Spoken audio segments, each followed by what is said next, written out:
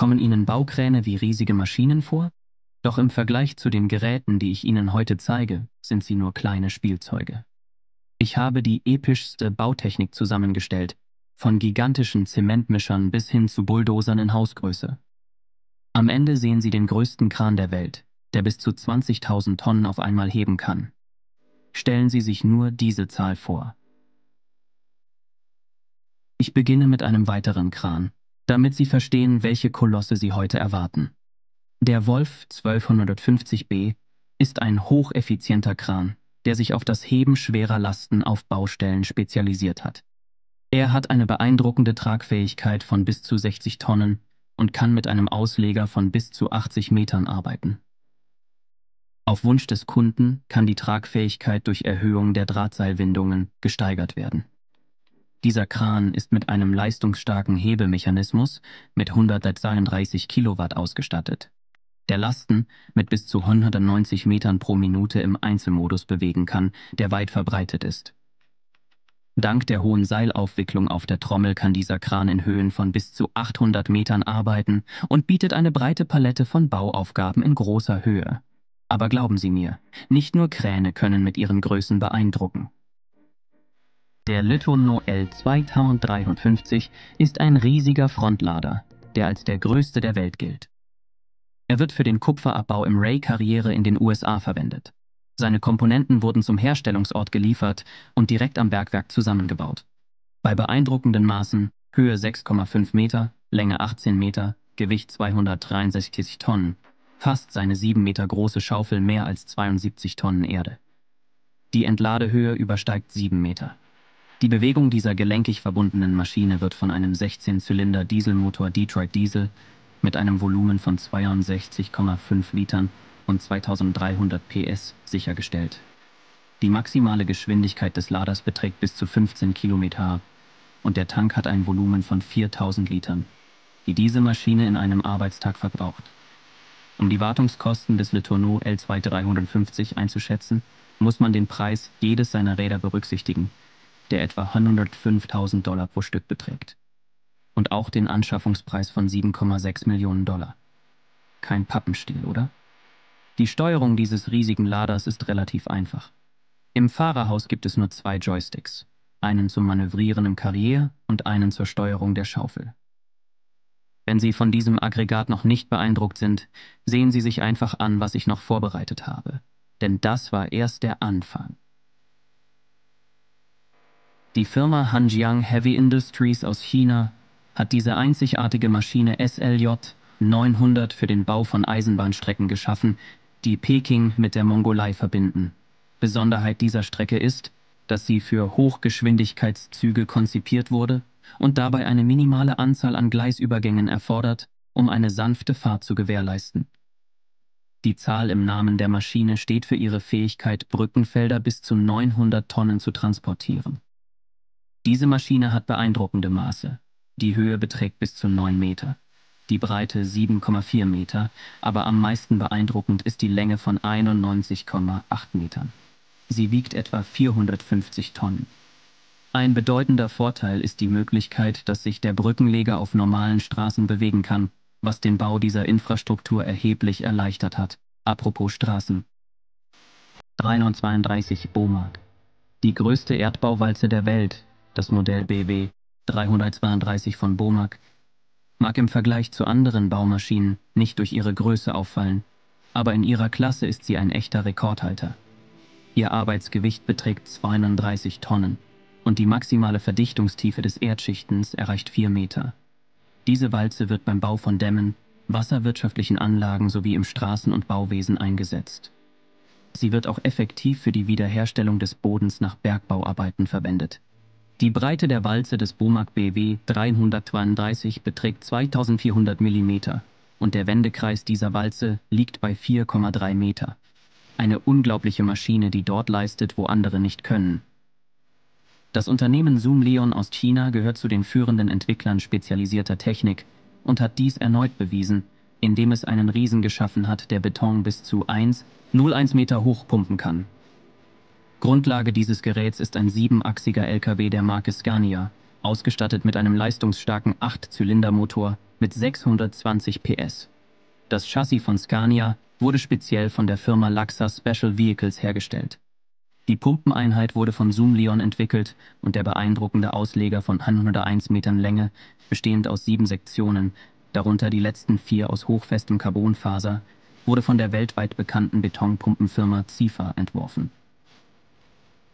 Der Liebherr LR 13000 ist eine beeindruckende Maschine in Größe und Leistung. Dieser selbstfahrende Kran, der 2009 von Liebherr entwickelt wurde, ist für das Heben von Lasten im Bereich mehrerer tausend Tonnen ausgelegt und hat eine Motorleistung von über 1000 PS. Der Kran ist für die Durchführung einzigartiger komplexer Bauaufgaben konzipiert, bei denen sehr schwere Lasten gehoben werden müssen. Der LR 13000 wurde intensiv beim Bau von Kraftwerken, Raffinerien und Werften eingesetzt. Mit einer Tragfähigkeit von beeindruckenden 3000 Tonnen beträgt die Auslegerhöhe dieses Krans 144 Meter, mit zusätzlicher Sektion sogar beeindruckende 250 Meter. Um solche einzigartigen Werte zu erreichen, mussten die Ingenieure von Liebherr komplexe technische Herausforderungen bewältigen, indem sie einen hochfesten Ausleger und ein spezielles Drehwerk entwickelten. Der Kran ist mit zwei V8 Dieselmotoren mit einer Gesamtleistung von 1360 PS ausgestattet. Seine Fortbewegungsgeschwindigkeit erreicht bis zu 1,30 km.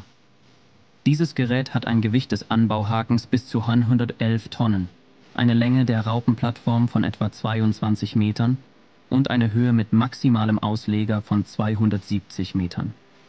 Zur Bequemlichkeit des Bedieners ist die geräumige Kabine mit einer Klimaanlage, drei Monitoren und einem intelligenten Kransystem ausgestattet.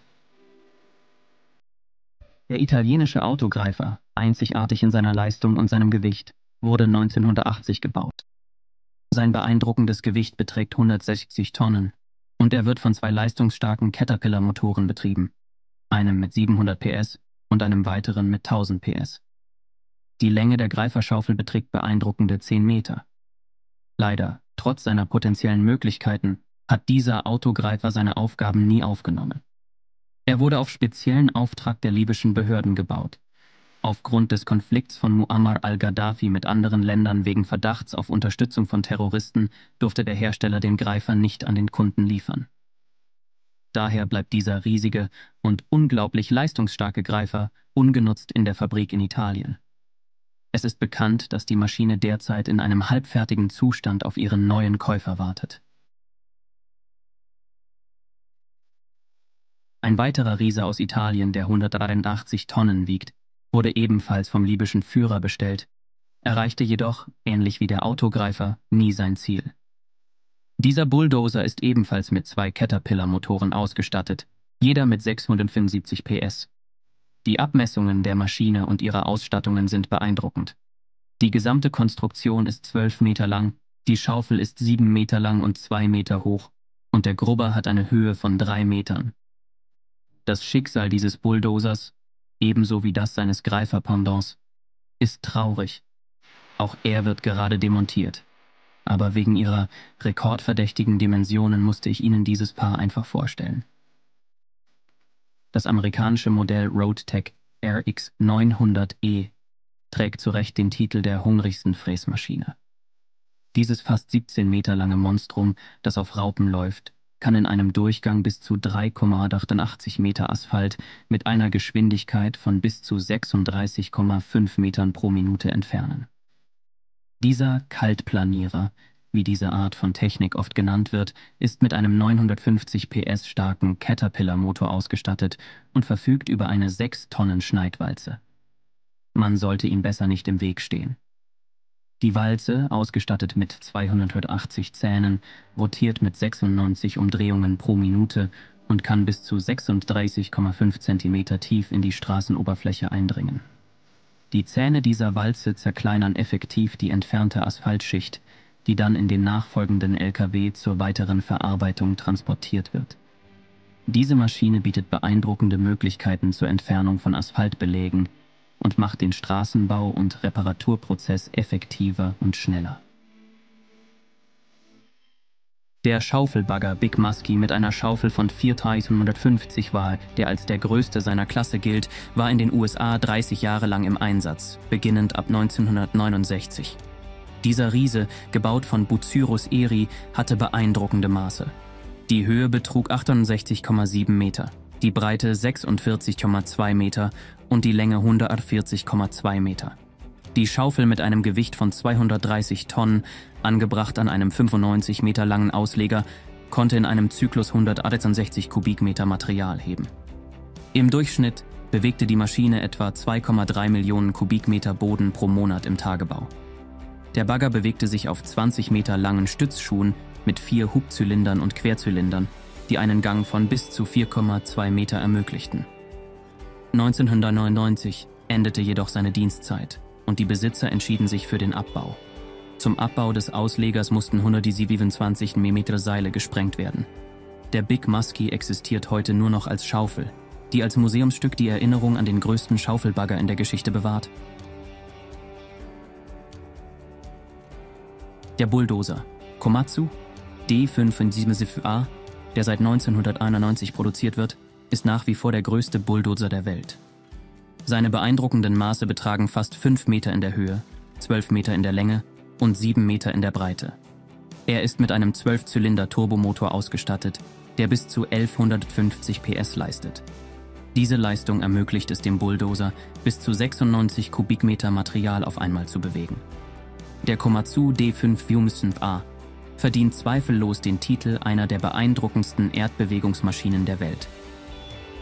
Der Raupenkran mit doppeltem Gitterausleger CC 800 800 ist eine leistungsstarke Maschine mit zwei Auslegern und einer Tragfähigkeit von bis zu 3200 Tonnen. Seine maximale Tragfähigkeit erreicht beeindruckende 44.000 Tonnen. Die offizielle Einführung des ersten Geräts fand im Oktober im Werk von Terex Demark in Deutschland statt. Saket Agarwal, Geschäftsführer von ABG, betonte, dass der Kran für den Bereich der Kernenergie und für schwere Bauarbeiten eingesetzt werden soll. Er erwähnte auch die Möglichkeit einer Erweiterung der Arbeiten in neuen Raffinerien. Der Bucyrus RH400 ist ein gigantischer Bagger, der beeindruckende 980 Tonnen wiegt. Seine imposanten Maße haben anscheinend die Schöpfer des zweiten Teils des Films Transformers inspiriert wo der RH-400 zum Prototyp eines der Decepticons wurde. Der RH-400 kann in einem Arbeitszyklus mit einer Schaufel von 50 M3 Kapazität bis zu 100 Tonnen Material aufnehmen.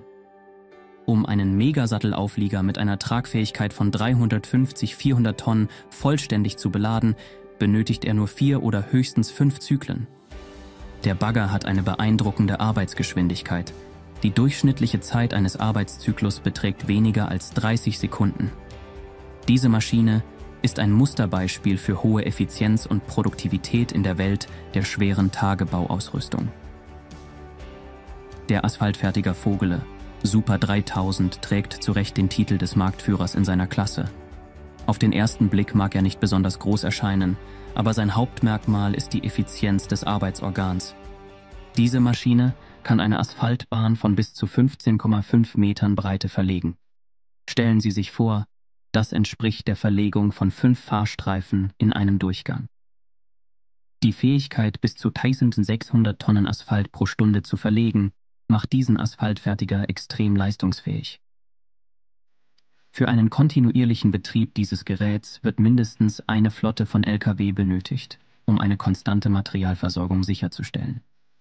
Es ist bekannt, dass dieses Modell Standard ist und aufgrund seiner Verbreitung und Zugänglichkeit in der Branche weit verbreitet ist.